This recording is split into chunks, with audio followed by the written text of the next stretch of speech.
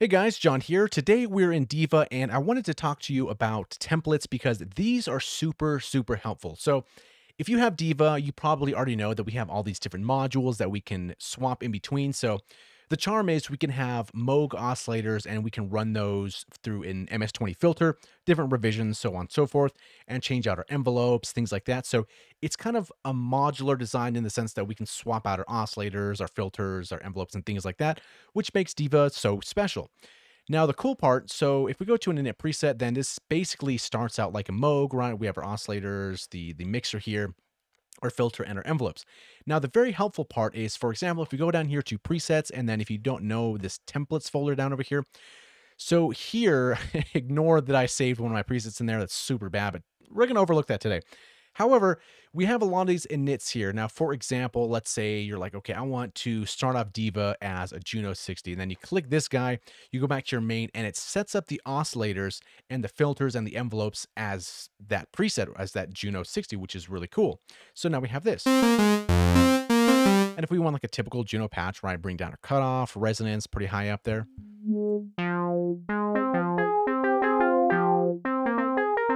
They bring up some of our releases here.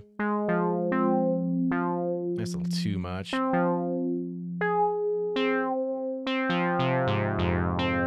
bring in the sub.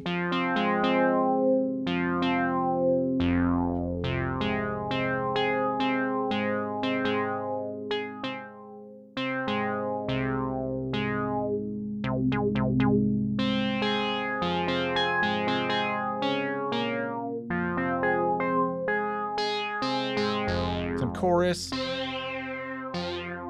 Some delay.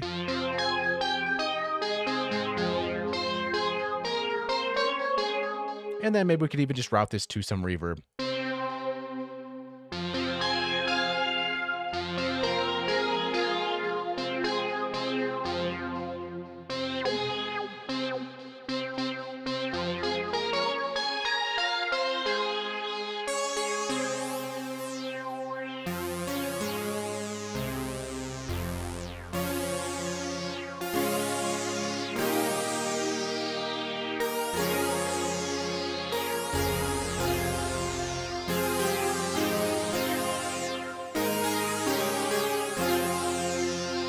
Because the charm with Diva is you have so many different components from different synthesizers in one plugin, which sounds fantastic.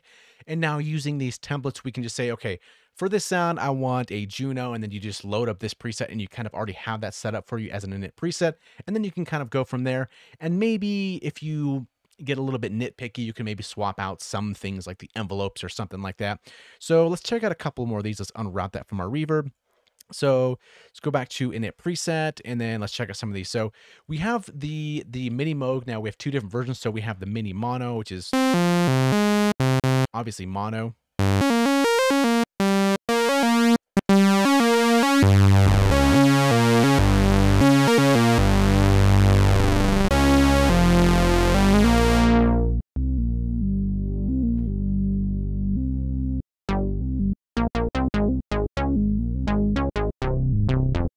So if you want kind of a mono sound, then definitely go for that guy.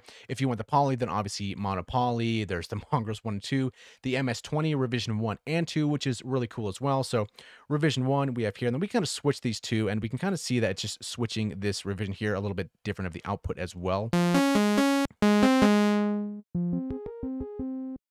Let's go back to that one here. And also it's doing the revision here on the high pass as well. So it's kind of cool because it changes it's kind of like you have two MS-20s set up for you, which is very interesting. And I love this filter, by the way.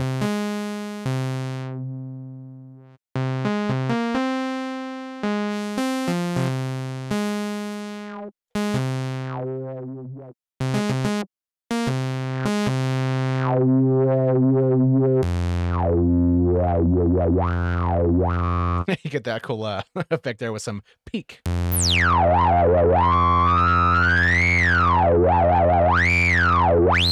God, I love that sound. Okay, so back to our init preset here as well. So we can go back to these as, as well and just kind of pick through these as a good starting point. And again, we can go to the Jupiter 8 if you kind of want that sound as well.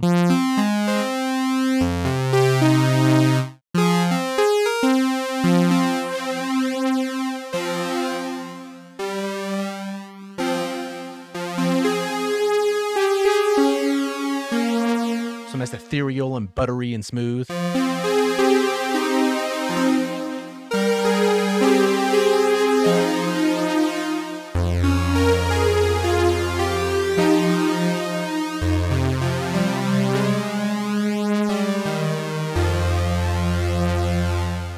Or if you just want to go back to the init preset, you can do that. And then obviously you can go to any one of these. But yeah, highly recommend you check some of those out because I know it's cool. We have all these modules and sometimes you're like, okay, which one is which? How do we set it up this way? So check out the templates as a super cool way to start off with a certain synthesizer. And what's fun as well is uh, for us synth collectors out there, I'm sure we have a couple different versions of a Jupiter or a Juno or uh, maybe we have different versions of a Moog out there. And it's kind of cool to load up these different templates and then load up a different version or a different emulation of a Juno, Jupiter, whatever it is, and kind of just compare those two and kind of see how they sound. And you can really see the charm and the detail of, of Diva and why the synthesizer is so loved. And yes, it's high on CPU. And if you don't know this already, for the love of God, hit multi-core. if you have a lot of CPU usage, it definitely helps out quite a bit. So yeah, that was kind of the point of this video. Check out the templates, use them to your advantage to kind of why they're there.